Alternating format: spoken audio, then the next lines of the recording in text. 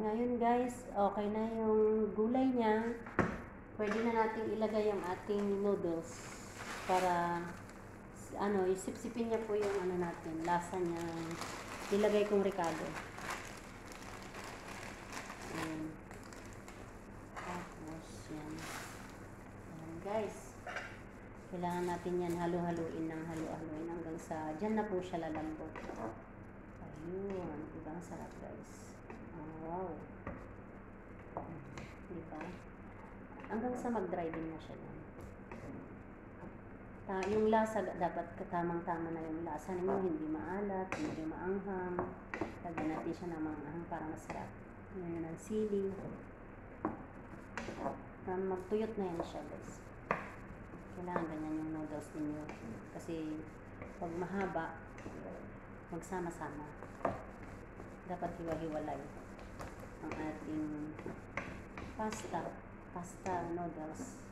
Diba guys? Sarap. Para nagluto din ng pansit. Yung bihon na pansit. Diba? Sarap. Yun, di ba nagda-dry na? Nakikita ninyo. Ayun. Kailangan maghiwa-hiwalay.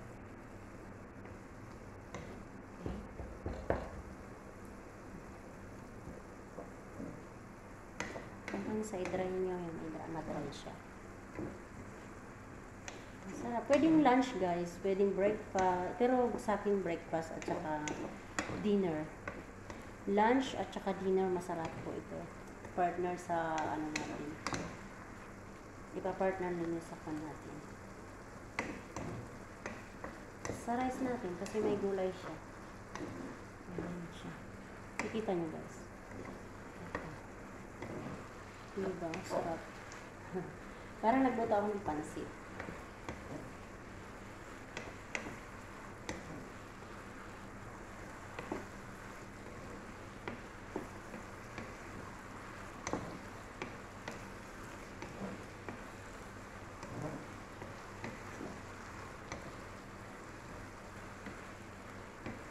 Ano, nagdadry. Hanggang sa matuyot po. Depende kung gusto niya pang lutuin ng mas sobra. Pwede naman yung lagyan ng tubig mo.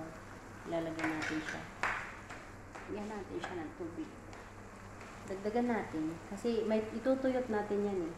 Hanggang sa siya may, ma, wala, hanggang sa wala na siyang tubig guys.